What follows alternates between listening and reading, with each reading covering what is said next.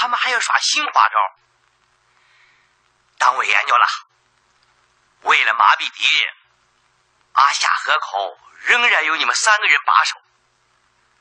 红卫兵们要揭开阿夏河的秘密呀，懂吗？啊？懂。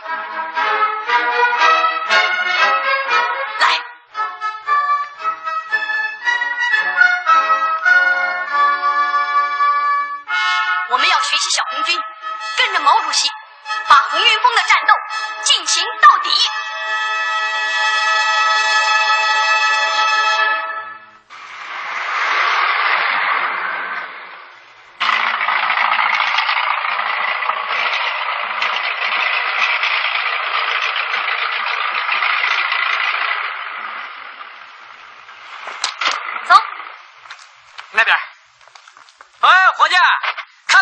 大叔了吗？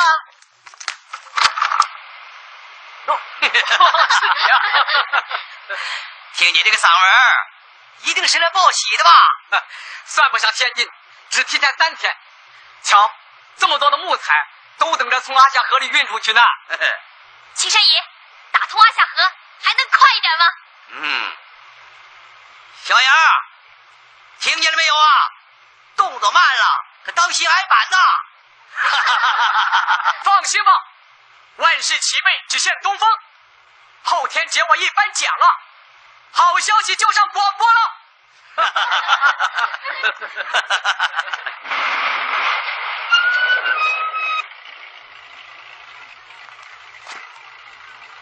好好好，哎，再见啊！好，辛苦啊。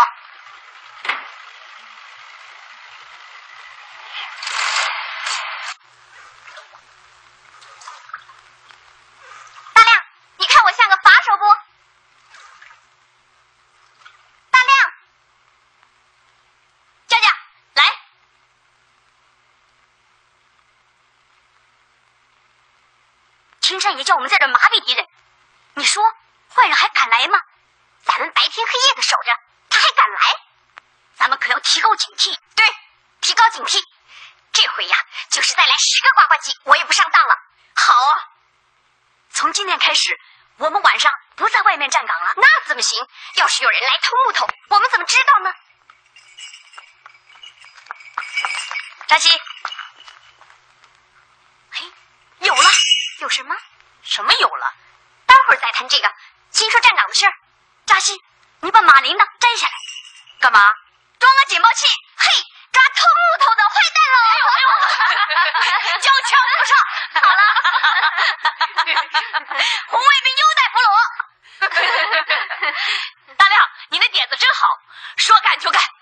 我来摘马铃铛，我去厂部领签丝。哎，签丝不用了，我去拿。哪儿去拿？你不用管。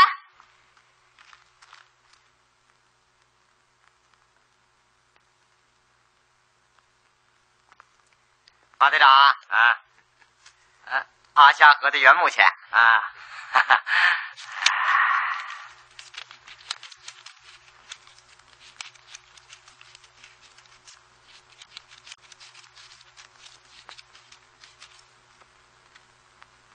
你那份我给你存着，省得你乱花，让人看见了。哈哈哈哈哈。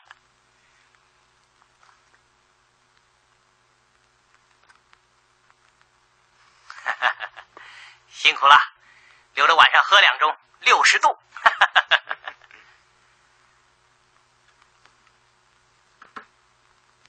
刘娃，刚才你的调度事还没有说完呢。老胡干嘛非要今天亲自来呀？现在风声紧了，上回那批木头，人家一个劲儿的查，老胡干嘛凑这个热闹？他不来不成啊！山下头啊。让人查出个大漏洞来，嗯，现在得赶快拿批货去堵。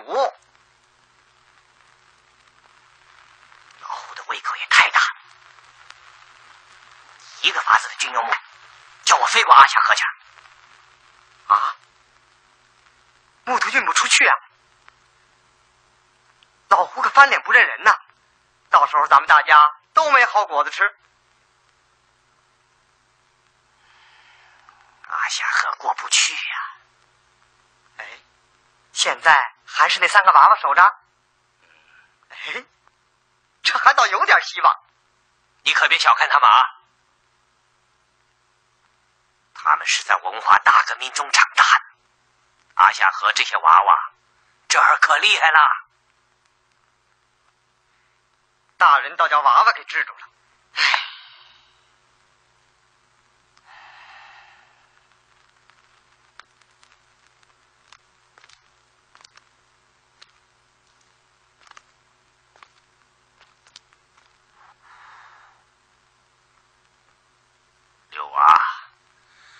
说句心里话，我马哈德看了这么多年的老林，过去是满山的木头看得见，捞不着啊。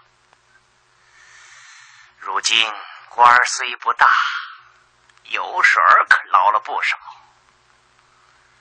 我这好日子刚开头，就这么完了。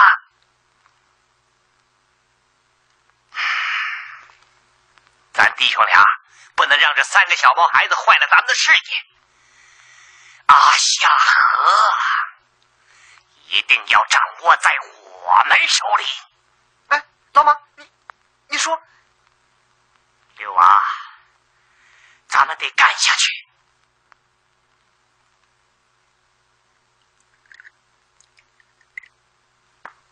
只要我老马混过这一关，就有你吃香喝辣的。来，干！干！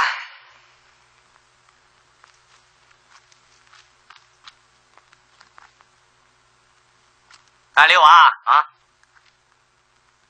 我在家里等老胡啊，别人问起你就说。